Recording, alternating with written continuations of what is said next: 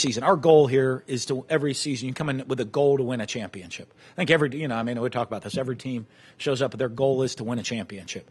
Uh, very few do. Um, right? If you go to the national championship, there's going to be one that gets to do it. If you go to the Power Five conferences, there's five uh, in the country.